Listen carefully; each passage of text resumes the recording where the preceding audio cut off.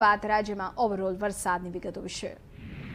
રાજ્યમાં વરસાદી માહોલ જામ્યો છે. છેલ્લા દસ કલાકમાં અડસઠ તાલુકામાં વરસાદ વરસ્યો. રાજ્યના પચીસ તાલુકામાં એક ઇંચથી સાત ઇંચ.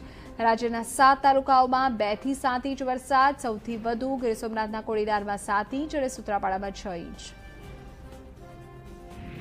આગામી સાતથી દસ જુલાઈએ ભારેથી અતિભારે વરસાદ મુદ્દે મુખ્યપ્રધાન ભૂપેન્દ્ર પટેલની અધ્યક્ષતામાં સમીક્ષા બેઠક મળી, જેમાં તેમણે તંત્રે લીધેલા આગોતરા પગલાં વિશે માહિતી મેળવી અને જરૂરી સૂચનાઓ આપી. ગીર સોમનાથ અને જૂનાગઢમાં પડેલા ભારે વરસાદ મુદ્દે પણ મુખ્યપ્રધાને માહિતી મેળવી અને એનટીઆરએફ તેમજ એસડીઆરએફની ટીમને સંબંધિત જિલ્લાઓમાં મોકલવા સૂચના આપી.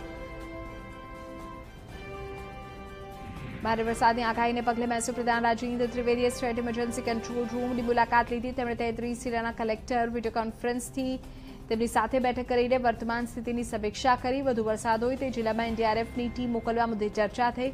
સાથે તમામ જિલ્લાના કલેક્ટરને એલર્ટ રહેવા આપી સૂચના.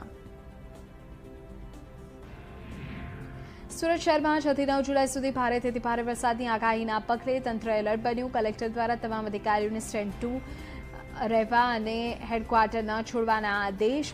વરસાદને પગલે સ્થાનિક કંટ્રોલ રૂમ ઊભો કરીને નંબર પણ જાહેર કરવામાં આવ્યા. હવામાન વિભાગ દ્વારા નવ જુલાઈ સુધી સુરતમાં ભારે વરસાદની આગાહી કરવામાં આવી છે. રાજ્યમાં આગામી પાંચ દિવસ મધ્યમથી ભારે વરસાદની આગાહી. હવામાન વિભાગનું માનીએ તો સાત, આઠ અને નવ જુલાઈના રોજ અતિ ભારે વરસાદ પડી શકે. સાત જુલાઈના રોજ ભાવનગર, ભરૂચ, સુરત, નવસારી વલસાડમાં ભારેથી ભારે વરસાદ પડી શકે.